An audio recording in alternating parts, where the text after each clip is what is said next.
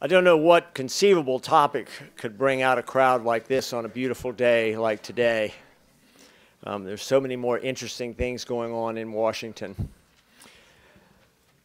Welcome to the Center for Strategic and International Studies. I'm David Berteau. I'm the director of our International Security Program and the director of our Defense Industrial Initiatives Group, and it's my privilege to welcome you here this morning. Um, we're really honored to have as our guest this morning the Honorable Frank Kendall. Frank is the Acting Undersecretary of Defense for Acquisition, Technology, and Logistics. He's been in this business uh, actually since the name was much shorter than that. It used to just be the Undersecretary of Defense for Acquisition because we assumed that acquisition encompassed technology, logistics, et cetera. Um, but, uh, but it's nice to be expanded and precise, if you will. Um, Mr. Kendall I have known for a number of years. We did work together in USD AT&L a couple decades back, uh, very unsuccessfully. Virtually everything we ever worked on still remains to be fixed, uh, at least from my perspective. Um, we're really delighted to have him here this morning, though, to give us both his perspective on a number of issues and in anticipation of the budget that will come out next week, following on from the comments made by Secretary Panetta and the Department uh, a week and a half ago when they laid out their initial round of the budget uh, reductions, if you will. So with that, uh, uh well, first of all, a couple of administrative details. Number one is please silence your cell phones and other uh, noise-producing devices. Um, we don't have very good coverage down here, but it's good enough that I can guarantee you it will penetrate on the call that you don't want uh, to set off your name. I also want to uh, extend a welcome to our viewers on the web. Uh, and uh, many of you know that we occasionally webcast these items as well for those who can't make it downtown. Uh, when it comes to the question and answers, uh, I'll come back up and, and, describe our process, if you will. So with that, uh, without any further ado, let me turn the floor over to Mr. Kendall. Thank you, sir.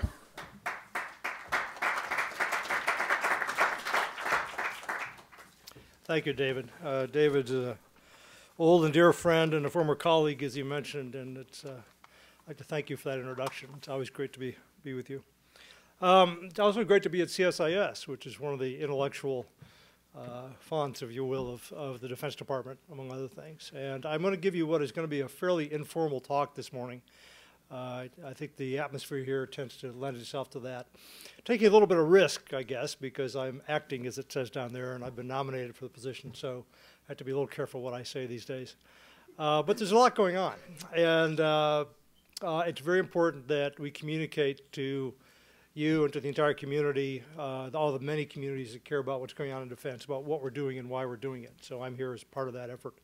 Uh, before the formal budget rolls out, as you know, of course, our strategy has already been uh, rolled out and discussed quite a bit by Secretary Panetta and others. Uh, and the budget major movers, I think, have been discussed pretty well.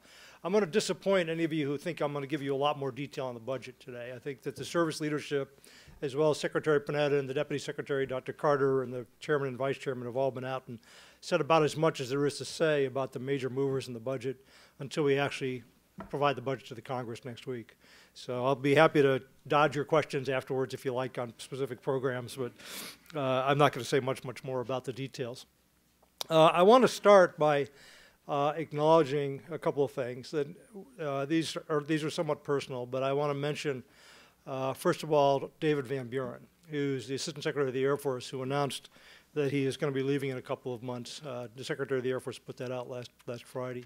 David's been a great colleague for me for the last two years. I've learned an enormous amount from him.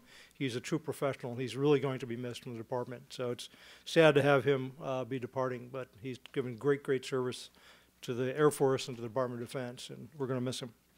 The other one I want to mention is uh, sort of a sad one. It's uh, Brigadier General Terrence Hildner, who died over on Friday in, in Kabul. He's out of the AT&L uh, world, if you will. He was there helping supply uh, for the Afghan training mission primarily as the commander of the uh, 13th Expeditionary Sustainment Command from Fort Hood.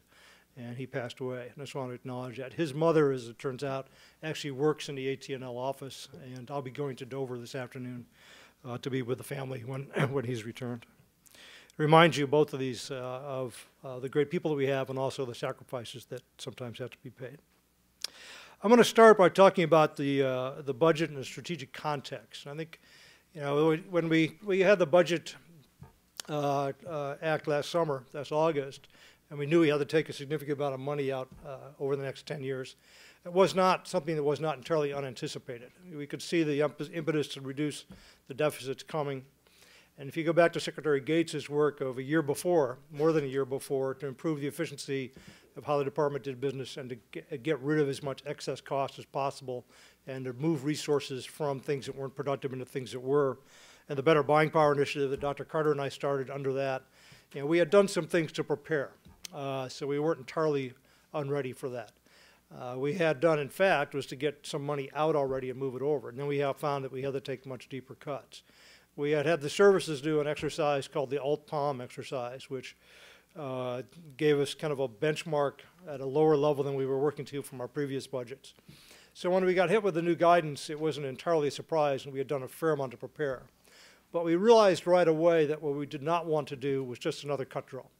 We did not want to go through and just take out funding as, uh, as least pain as possible across the board. We had to step back at that point because the cuts were so deep and look at our fundamental strategy and say, do we need to make strategic adjustments that are commensurate with the level of resources that we're going to have? And the answer, of course, was yes. So we did that. We spent, it was a fairly intense period. We did the strategic review, if you will, and came out with some new strategic guidelines. And I would encourage you to read both that document, which is relatively short, it's a fairly dense document, and the document that we put out on the budget decisions that flowed from that strategy. Uh, but we, we got it right, I think, in that we did strategy first, budget second. Uh, Chairman Dempsey and the Secretary both felt very strongly that we shouldn't just be taking cuts, that we should be building towards some goal. And we took the time frame of about 2020 and say, okay, where do we want the Defense Department to try to look like in 2020? And how do we get from here to there? So that was essentially the approach we took. And then the budget drill that followed the strategy uh, review was done with that in mind. So I think we, with the two products together, we have essentially turned the ship from headed over here to over here. Uh, about the direction that we want to be going in. There's probably going to be some fine tuning. You know, we do this process every year, and as we go forward, I think there'll be continued adjustments that'll have to be made. But I think we got it about right, and I think that uh, we have a pretty good case for the choices that we made. They were painful. Some of them were extremely painful. Uh, and I think when we roll the whole picture out, you know, in, in our document that we put out recently, we tend to emphasize the positive. We tended to emphasize the things that we had done as opposed to the things we had to cut or didn't do. And I think you're going to see more of the things that we cut uh, as we go forward. Now, Secretary Gates, a year or so before, had cut a lot of major programs that were basically unaffordable. So a lot of that work had already been done. And I think there were some people expected bigger things like that in our announcement uh, that Secretary Panetta made. Uh, we had to look other places because most of the programs that we still have, all the programs we still have, we very much need. Uh, we do need to recapitalize the force. Even though we are taking some force structural reductions, they are not extreme, uh, and the recapitalization and modernization that are required are still there, and we had to support that. So we did take a look across the board. We, we put everything on the table. We put things that uh, were perhaps third rails in the past, such as compensation, on the table. We're asking for a BRAC. Uh, it's not popular with anybody, uh, but it's a way we need to, to act to get some savings. We didn't put some savings from BRAC in the budget. We're basically going to go do that to try to save more pain later on. Uh, I'll say I'll say a few words at the end about the situation we're in, and how I see it playing out. But essentially, we think we have set up a plan which is reasonable and executable. Uh, we have taken some risk in it, and I'll say a little bit more about that later. Um, the other point I want to make, I guess, in, in, in terms of uh, context is personal. Um, I've been in the job as acting now for about four months, and I was nominated a couple of weeks ago, and I'll probably get a hearing in another couple of months, so by then I'll have been in position for six months. And my previous experience with a confirmation through the Senate suggests to me that it may take several more months before anything is done one way or the other. Um, I can't wait for that. I've got to do what I think is right in this job, and I will. And I've started down that path. And I'm going to say quite a bit now about my intentions here and what I'm trying to accomplish. I've been in this business for a very, very long time. And I've seen a lot of cycles come through, different attempts at acquisition reform uh, under various guises and various attempts. And I think David mentioned, you know, the same problems existed when we were there in the 80s and the 90s that are there today. Unfortunately, that to a large extent is true. And I have asked the question uh, a couple of times, you know, are we doing better or worse than we were 10 years ago? And it's hard to even get an answer to that question. I'll come back to that in a minute when I get a little further into this.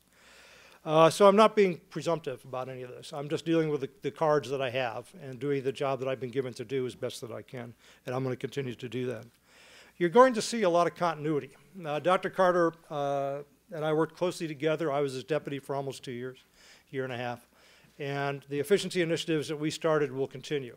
Okay, better buying power is kind of the label we gave to things, but it's really about a set of activities designed to control cost and designed to do uh, get better business deals, to have more competition, to start affordable programs. There are a number of things that we did under the guise of better buying power, which are really just about being efficient and controlling cost.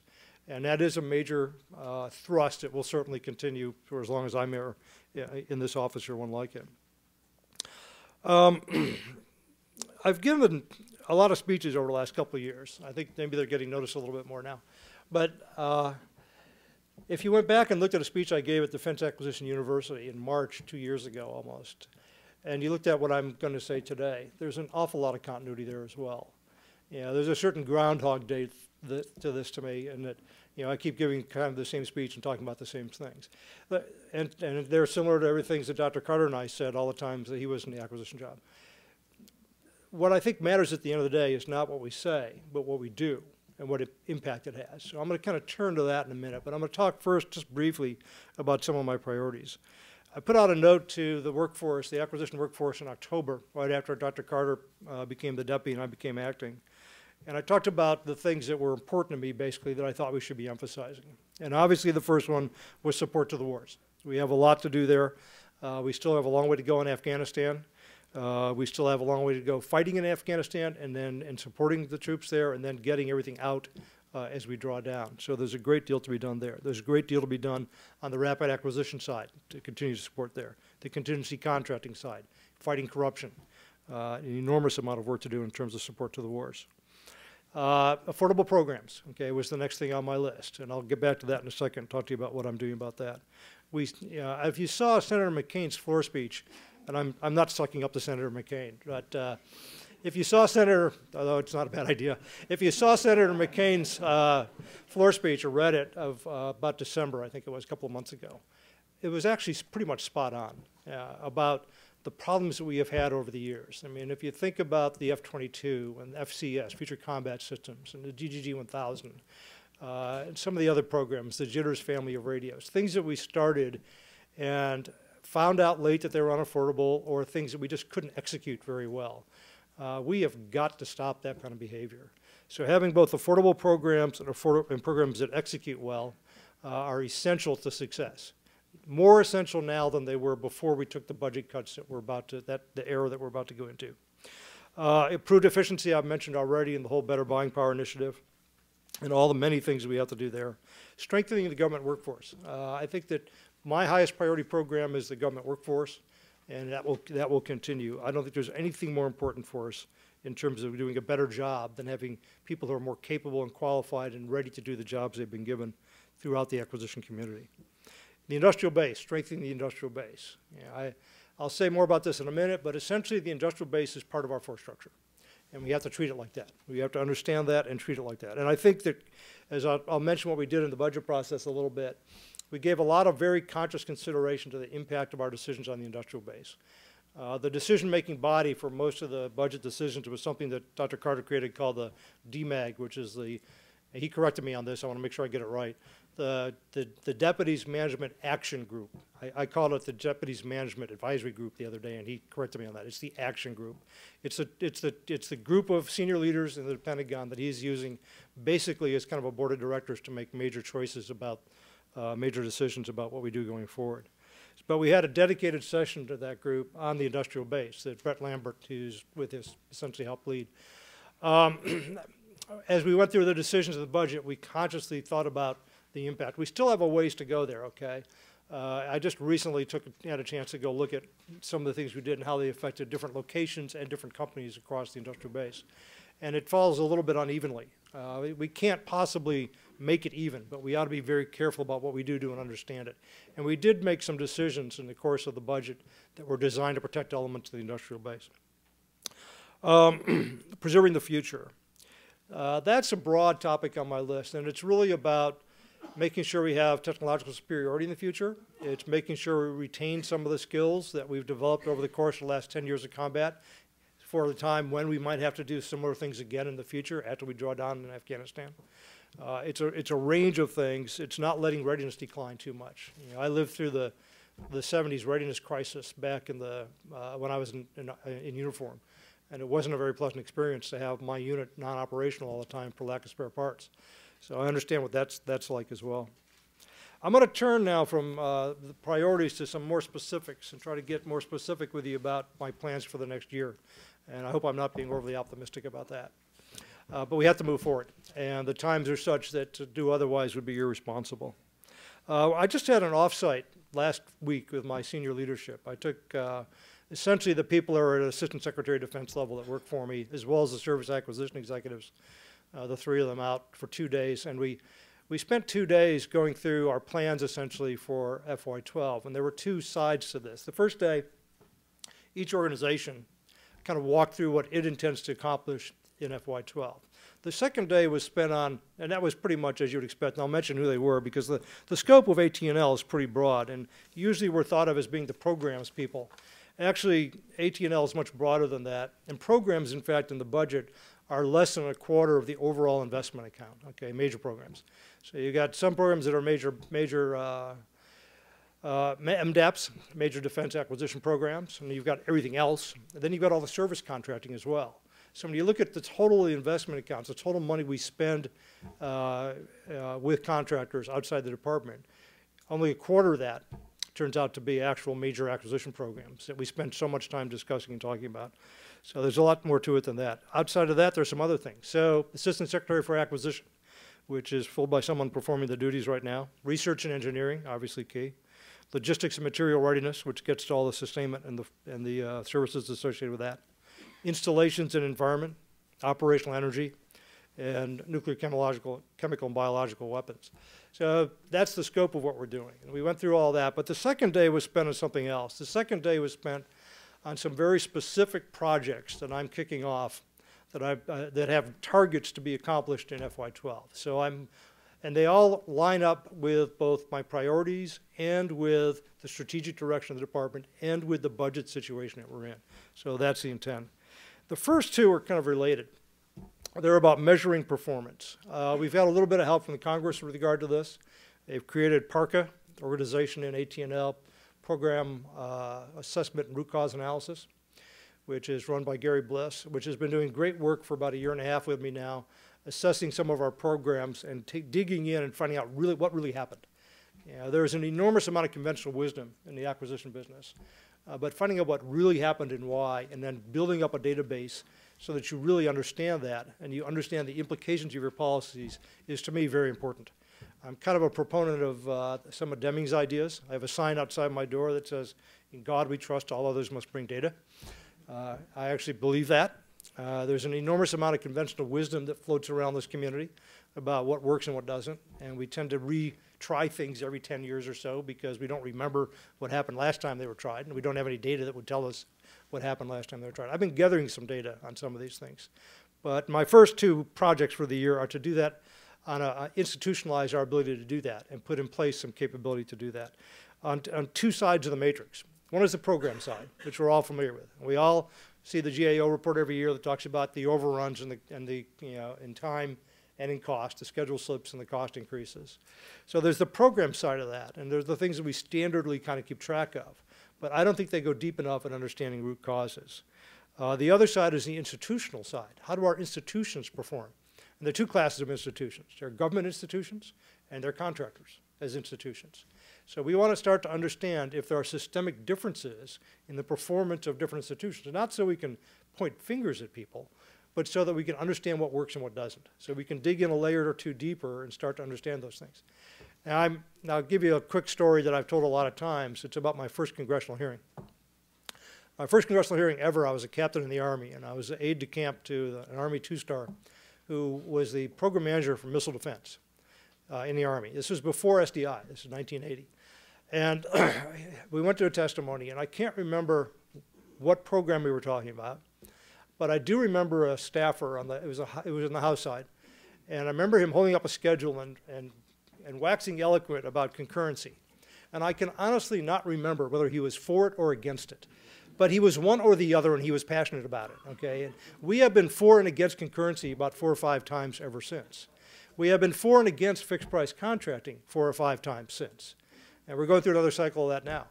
Uh, we need to understand what really works. And I think it takes data and in-depth analysis to understand what really works. Now, part of our problem is that people like myself tend to be in office for three or four years. And if you look at the life cycle of most of our programs, they, they span about 40 years.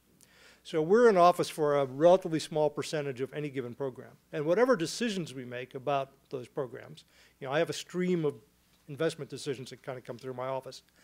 Uh, whatever decisions we make, we don't see the impact of them for two or three more years after the contract's been let and things have happened and, and so on.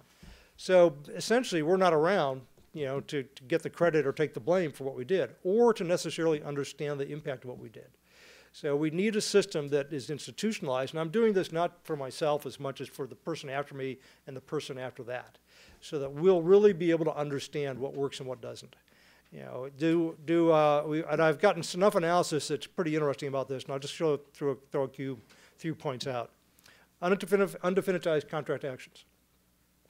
How much difference does it make whether you have a UCA or not? Are they good things or bad things? Well, it turns out that for production, it doesn't make much difference, but for development, it turns out to be a very high correlation between undefinitized contract actions and overruns and schedule slips. Now, why is that true? Well, that's the next step. We to understand what's going on there, because there could be several things that correlate to that. Fixed priced uh, low rate production. Does it matter whether you do fixed price or cost plus low rate production? The data says it doesn't make much difference. Well, if that's the case, we got to look carefully at what the consequences are and why uh, maybe that's not where we should be trying to put our effort. Um, I, I, think that in general, uh, we need to do a lot more work in this area, and we need to institutionalize some practices and put some things in place. Uh, acquisition is not a science. There will always be some art to this. We do very hard things that have never been done before. And it's always going to be a continuous learning process to do better at it. But until we start examining carefully the impacts of our policies, we're not going to learn enough from our experience to be able to make good decisions and put good things in place there, there are best practices, and we have to identify them and start to implement them more carefully. We also need to understand uh, institutional. I'll, I'll give you a couple on institutions. One of our services is doing relatively poorly in acquisition compared to the others. Uh, two, they are, they're kind of spread out. One, two, three, kind of like that. The question you have to ask yourself is why? Why is it that one service seems to do better? It doesn't do perfectly. It still has a ways to go to improve. But why should it be significantly better than the others? And I, I think that's a question we need to know the answer to. And the service that's doing less well needs to understand what it needs to do to change. And that's the sort of thing I'm getting at there. On the, on the contractor side, you know, the same sort of thing. Are some contractors performing much better than others? We set out to start a uh, superior supplier program as one of the better buying power initiatives. And we, we, we wrestled with that. It's one of the ones we haven't finished yet. And I want to go back to that. We want to go back to the better buying power initiatives and go through the entire list of 23 and do an assessment, which is in progress, uh, to see whether they were, we implemented them successfully or not and whether they seem to be working or not. And if we didn't implement them, do we need to do so and do we need to figure out a way to get where we want to go uh, or should we just abandon them? And should we add some to the list? So the Better Buying Power label, that's my next project, uh, is about efficiency and in continuously improving efficiency in the department and measuring that. Um, a big part of that is elevating the cost consciousness of our workforce. And through our incentives, increasing the cost consciousness of industry and putting incentives in place in both places. Now, Ash liked to say at times that he didn't do culture. I remember him getting a question about that at the first press conference he had, I think, about better buying power.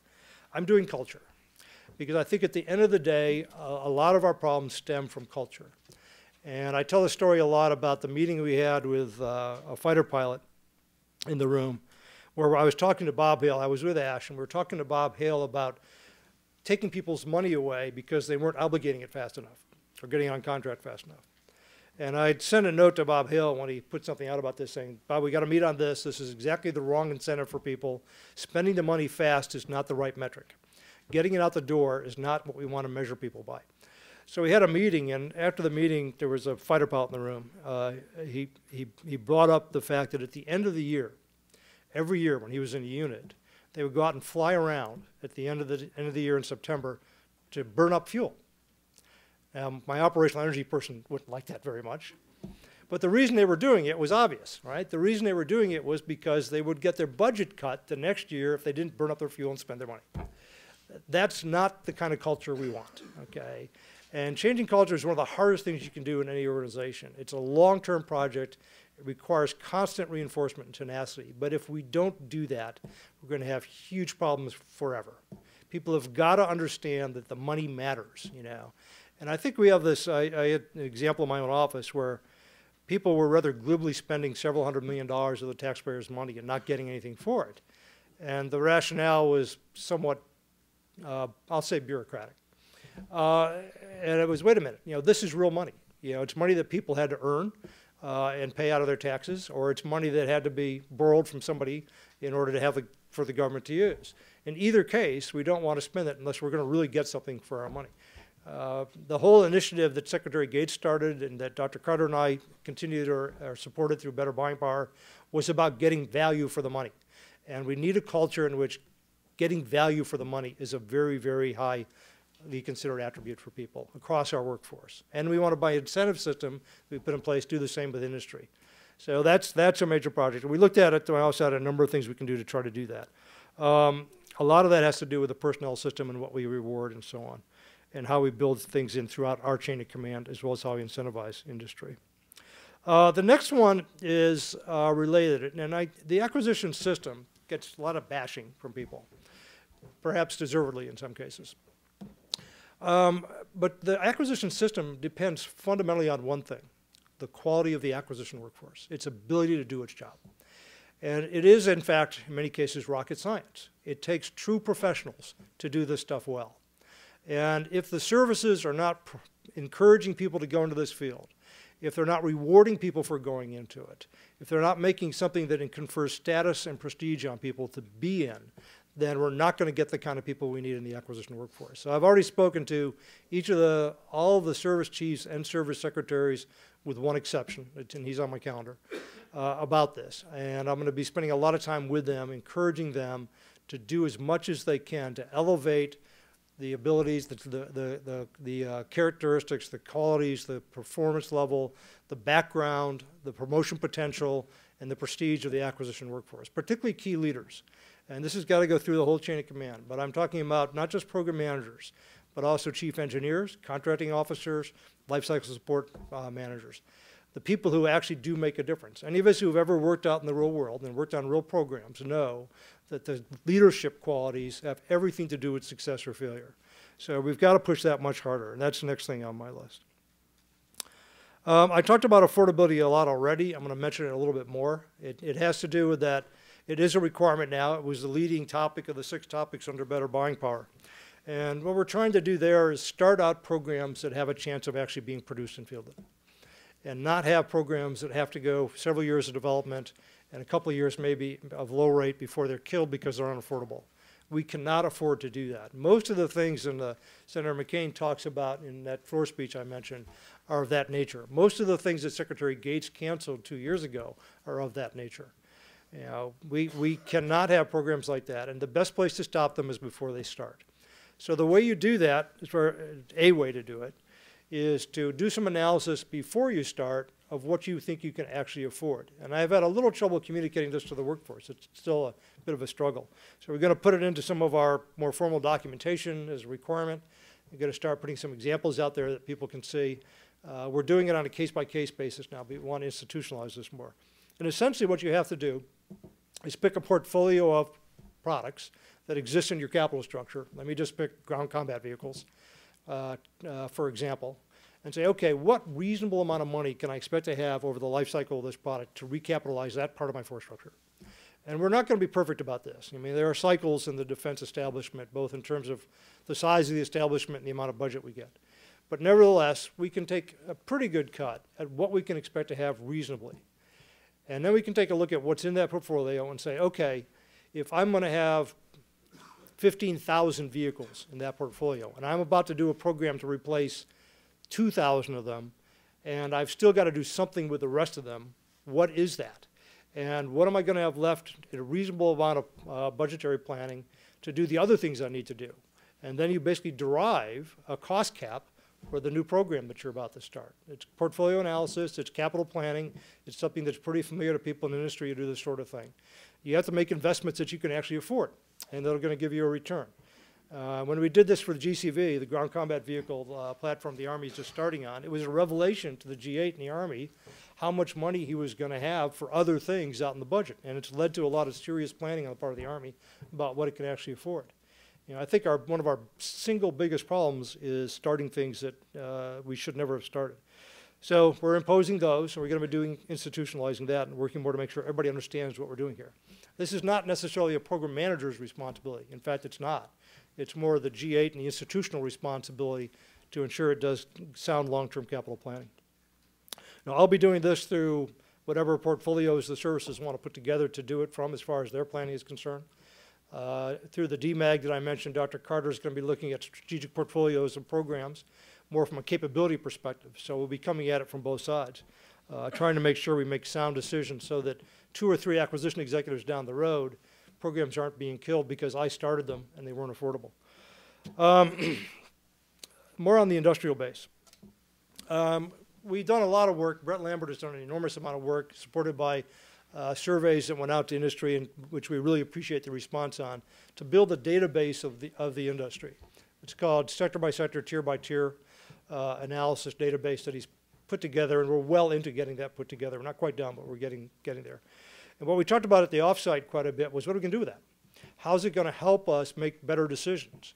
And what I'd like to do uh, in that regard is work more closely with the service acquisition executives so that we provide a tool to them that they, when they do their budget building process in the services, they can understand the industrial base implications much more clearly.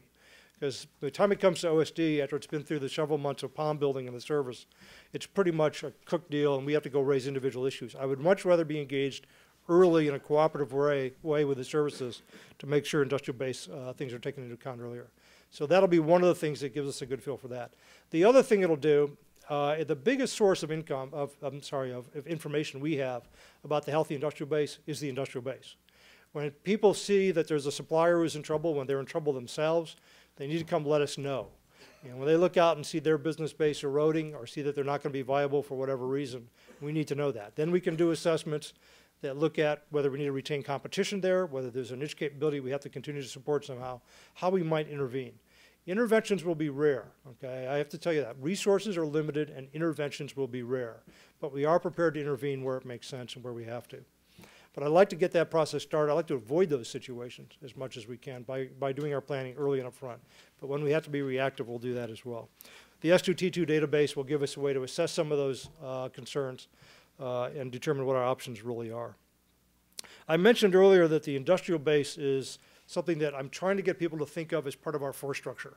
This idea came to me initially out of uh, uh, recognition that half the people we're deploying into Afghanistan and Iraq were contractors. You know, when you think about that, you have to manage that total force that you deploy uh, because the, the boots on the ground include 50% basically contractor boots as well as uniform boots. Uh, that's a different way of fighting. It's a different way of doing war. It's somewhat unique to kind of contingency counterinsurgency operations we're doing now, but we may well be doing them again.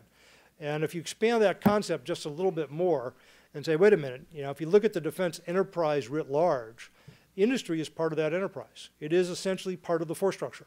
And we are dependent on it in order to equip our forces and to go do the missions that we have to do. We need to think about it that way.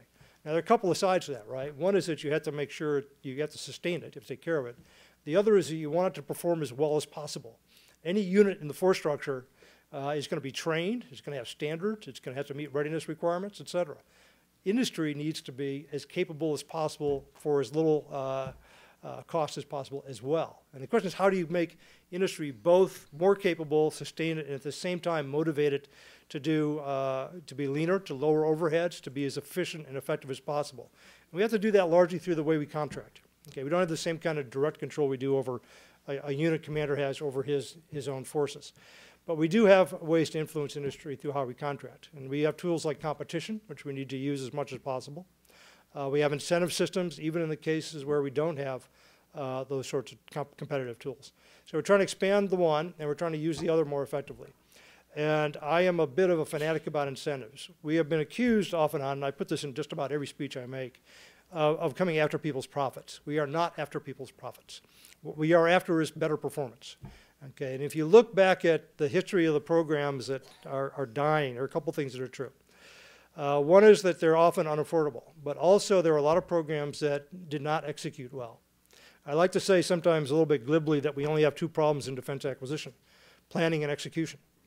And, and historically, I would have said planning was much more significant, that we were not doing a good job of writing requirements, and we were not doing a good job of planning the budget and the time and so on for programs. That was a government responsibility. But I'm afraid that increasingly we're having problems with execution. And execution is fundamentally industry's responsibility.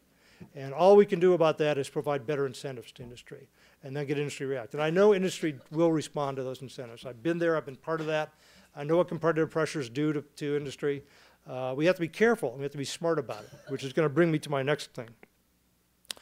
Um, I want to go back to the workforce because the workforce plays a huge role here. The, the government workforce uh, and its relationship to industry, which needs to be cooperative, professional, uh, and, and structured in a way which gets the best value for the government, but recognizes industry's real needs. And it's an interesting tightrope to watch sometimes for, for government people. Um, we have to understand what we're doing. It gets back to the professionalism of the workforce and those high standards I mentioned. I'm going to go back because this is another piece of data. They, I did a, I, I came to a revelation, if you will, about our technology development uh, phase. One of the things that was done by John Young, and I, I've spoken positively of this many times, was to have competitive technology development phases where people built prototypes prior to a down select for, to support a competitive down select for manufacturing development. Okay, the idea there was that you know, we could go further into design and we could have less risk going into uh, EMD and that therefore things would be uh, you know, more successful. And I was looking at programs coming through and thinking about what people were actually doing to get ready for EMD. And what we're supposed to do in the technology development phase is develop technology. You're supposed to reduce the risk of EMD. Okay, that sounds good so far what was actually happening, and this should not have been a surprise to people, what was actually happening in some cases was that people were not trying to reduce the risk, uh, they were trying to win. Now, the fact that industry is trying to win the next contract should not be a surprise to anybody. Okay, but it takes smart people on the government side to understand that and to insist that we get the risk reduction that we really need, and that's how you win.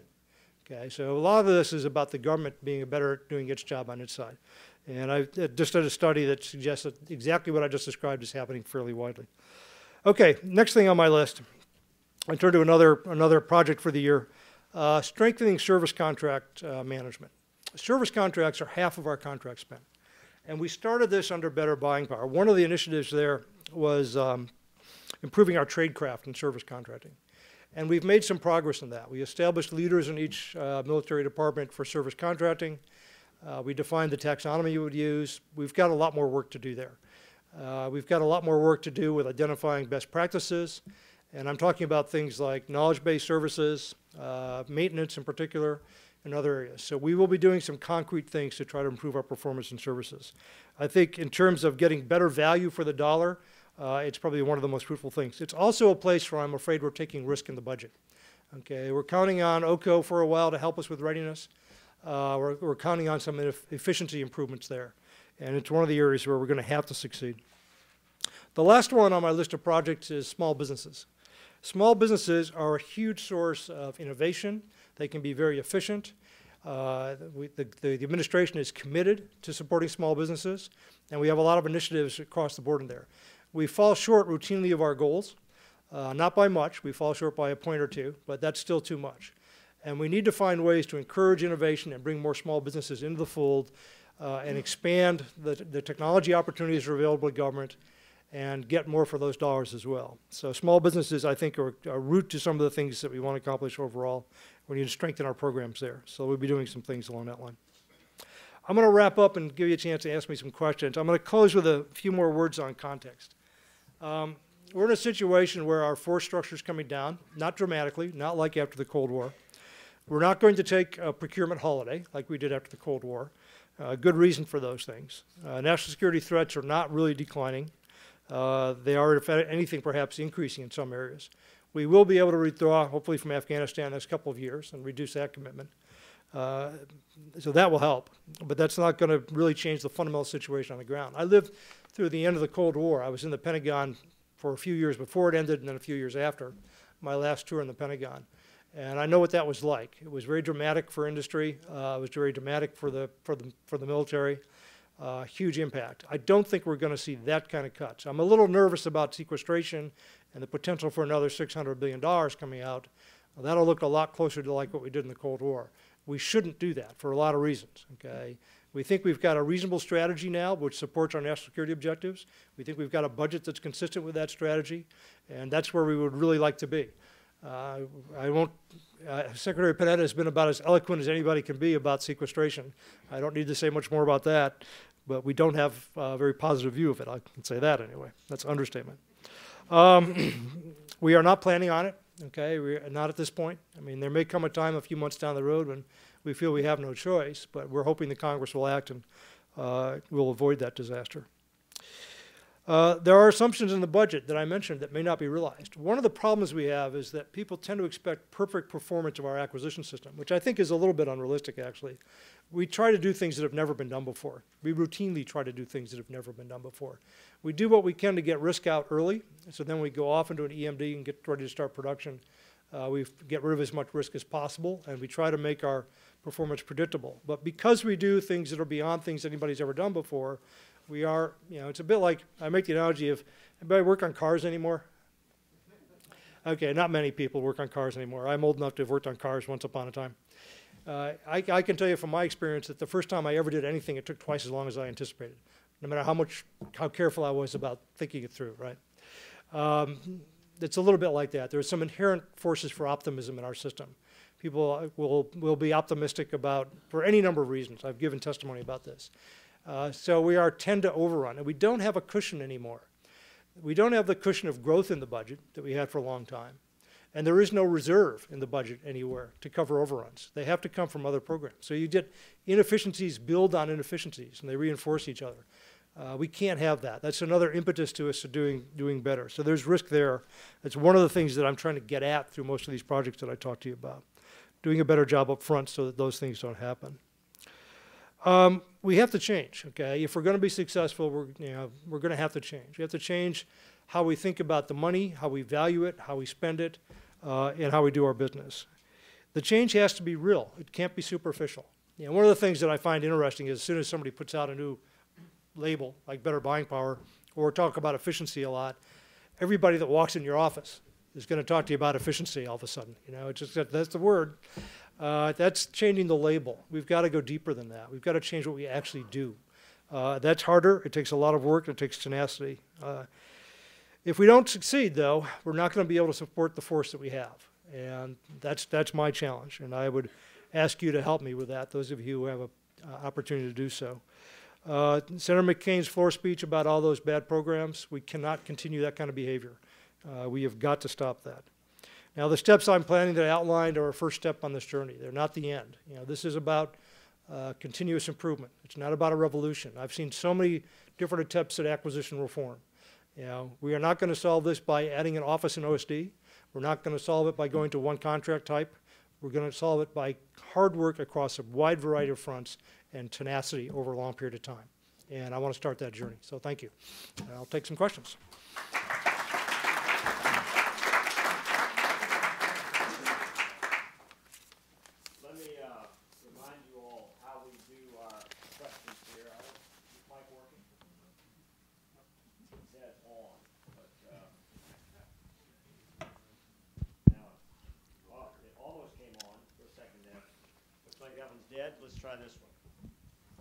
Better?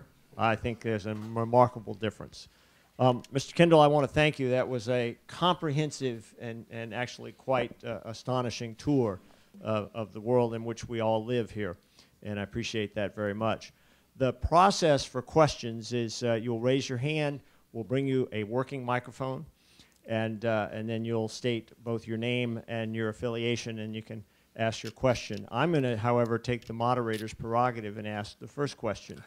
um, you mentioned sort of the, the uh, uh, desire to get improved culture behavior and to change incentives for both the department, military and civilian personnel, and the acquisition workforce, and for industry.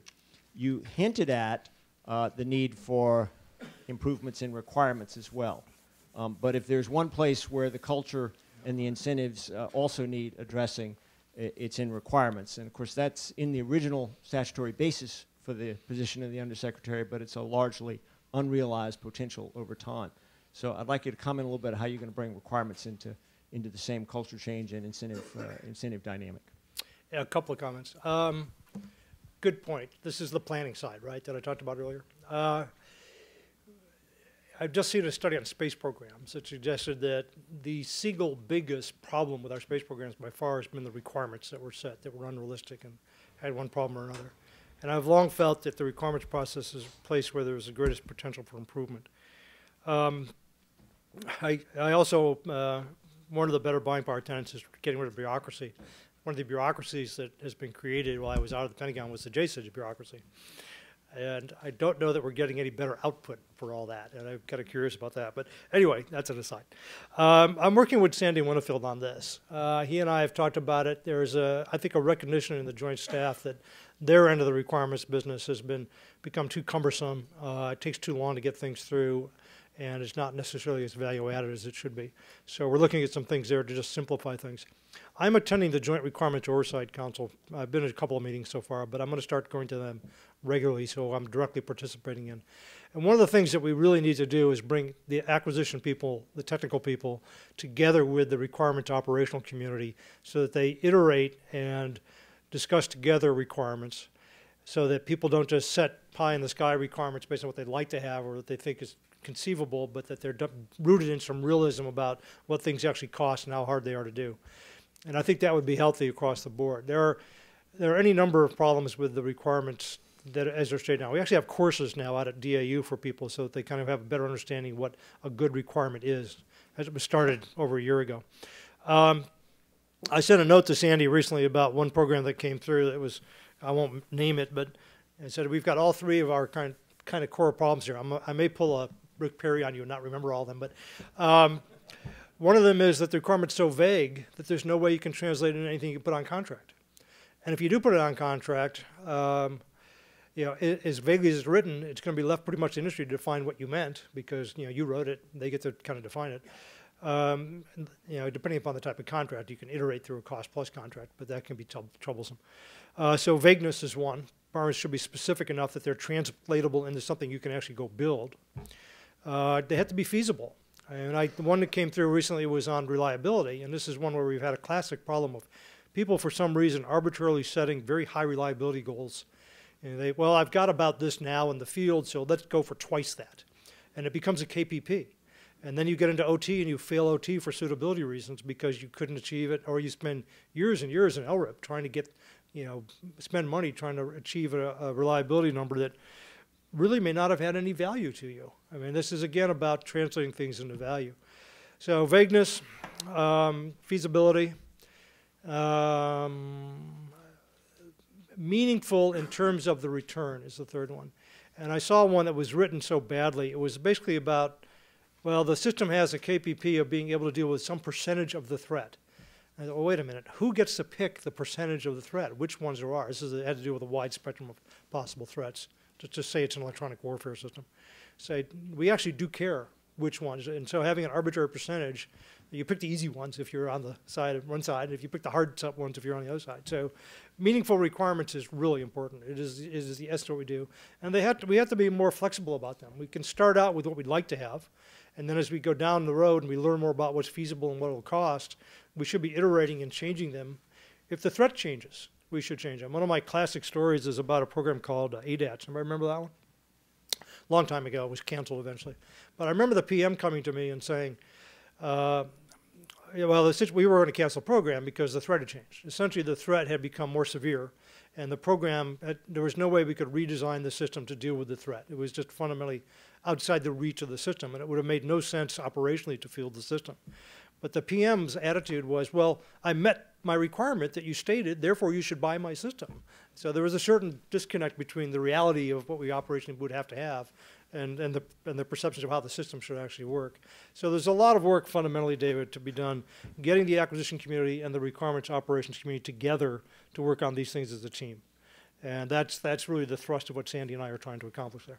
Good question, though, because that is the root of a lot of the things we do. You're welcome to call on who you want to call on. Right. Wait for the mic.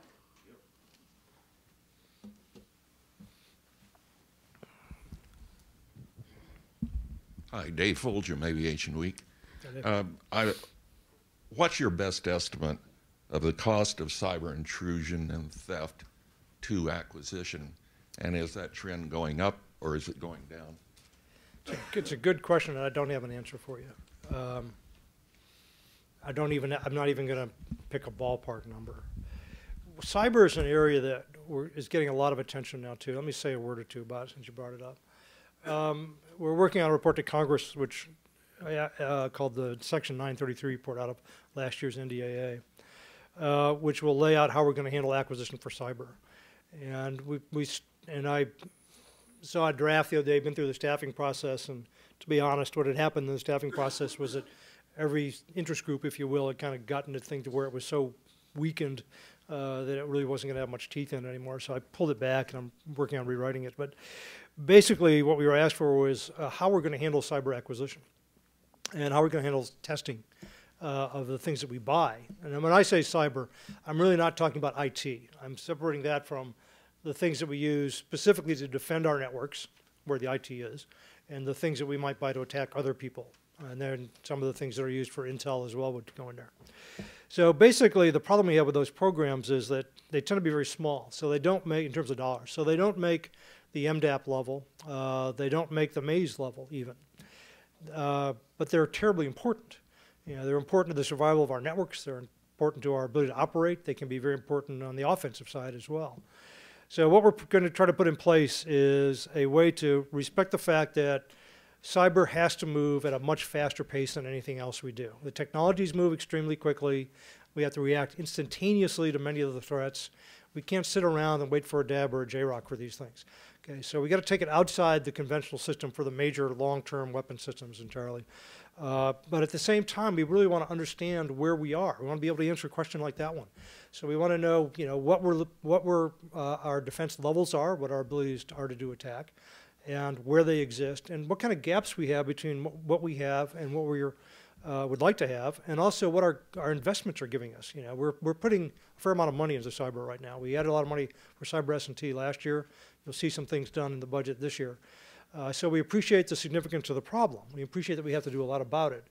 And we have some very competent people working in that area. But at the department level, we need to get a better handle on exactly what we're getting for our money and exactly what our posture is. Uh, we know we're at risk in some areas. We know there are stories in the paper fairly often about things that are happening out there. Uh, and we know there is a cost, but it would be hard for us, I think, anywhere to put a real number on that right now.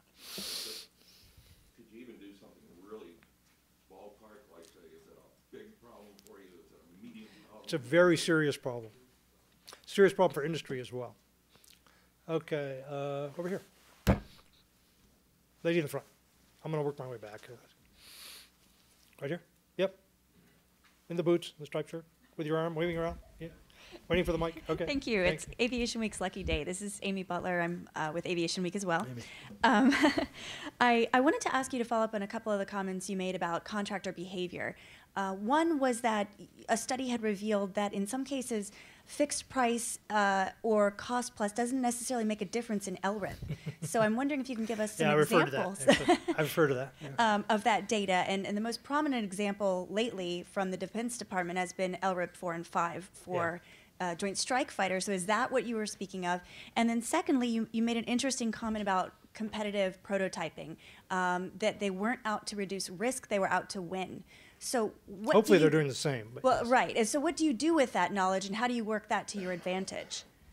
Uh, Let me take both of those. Um, Yeah, the data shows, the data I've seen, okay, it's not complete, but the data I've seen suggests that you don't get a different result significantly between cost plus and uh, fixed price low rate production. Why is that? Um, I think the reason is that industry, first of all, is doing its best in general. I think a little more motivation wouldn't hurt. But I think that in general, industry is doing its best. It's not trying to fail. I actually had a conversation with Senator McCain last week, and I made that point, and he didn't disagree with me. Uh, when you're in LRIP, you're trying to get to full rate. You're trying to get to a higher rate of production.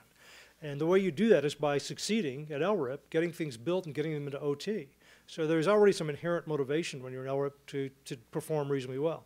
And also, I'm, i should have made this point earlier, in today's environment in particular, but I think this has always been true to a degree, there's a competition in the budget to survive. And if you're failing in your programs, if you're doing very badly, if you're overrunning costs significantly and your schedule's slipping badly, you're likely to be canceled. I mean, that's a fact, okay? I mean, if you look at some of the programs, if you look at some of the things I've done even in the last few months, programs that are not performing are going to have a hard time surviving. I mean, that's about as much motivation, I think, as you can get. Uh, so anyway, um, I think that's the root cause of that side. And as far as the F-35, uh, I can spend quite a few minutes on the F-35, but I don't want to. Um, it, this will make a headline if I say it, but I'm going to say it anyway. Putting the F-35 into production years before the first test flight was acquisition malpractice. It should not have been done, okay? But we did it, okay? So now Dr. Carter first, and now and, and now I am dealing with that. And what we're seeing is that the the optimist I talked about optimism earlier. The optimistic product predictions when we started the production of the F-35 that we now had good enough design tools and good enough simulations and modeling that we wouldn't have to worry about finding problems in test was wrong. And now we're paying the price for being wrong about that. Okay, so we're finding problems with, the, with all three of the variants that uh, are the types of things that historically in a state-of-the-art next-generation fighter aircraft you're going to find, okay, where our design tools are not perfect. And we didn't model everything precisely as we thought we had. So we're working our way through that. The hardest part of any acquisition program is the transition from development to production. Okay, and that's where the concurrency arguments come in. You know, when should you start? And I think there's been a tendency to start too early in some cases, and the F-35 is probably an extreme example of that. That said, they're all, all those aircraft are making progress, and we're committed to that program. It is the future of tactical air for the Department of Defense, for all three of the services it supports.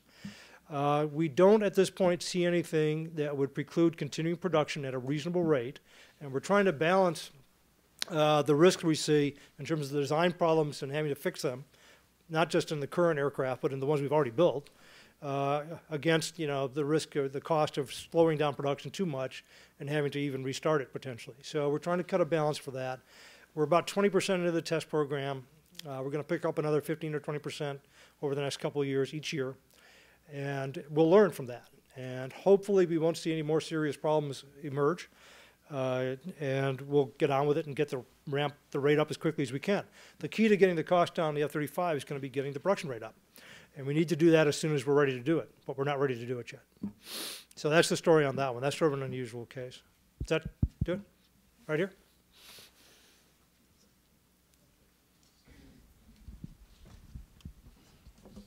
Cameron Luthi, Booz Allen. If, if we take the um, analysis that you just provided a few minutes ago about the importance of requirements, getting them right up front. And we look at the programs that, as you put it, should never have been started. One of the common themes is uh, the technology wasn't mature. It was, it was way out there. And, and so at the same time, it seems like there's a dilemma between maintaining our technological superiority and yet not starting programs where it's not mature yet. This gets me a chance to answer the question I didn't answer about industry behavior and TD phase. Um, yeah, a couple of things there. We technical maturity and feasibility in some cases has been a problem for a lot of programs. Um, we instituted the TRL system. TRL, Technology Readiness Levels, is, which is a NASA system originally few years ago as a way to kind of help alleviate that problem. And there's some language in the statutes now that say that we have to assess technical readiness, which is an important thing to do. I'm glad, and it's good. Um, but I, what I what I saw when I first came in was that there was this infatuation, I guess, with TRL levels, and TRL levels were used as essentially the equivalent of technical maturity and of reduced risk, which they are not. Okay, the TRLs are a benchmark. They give you a sense of where you are, but it's really just the first question you have to ask. And we had a process in place for kind of almost a judicial process for evaluating TRLs as a precursor to going into EMD, uh, manufacturing development.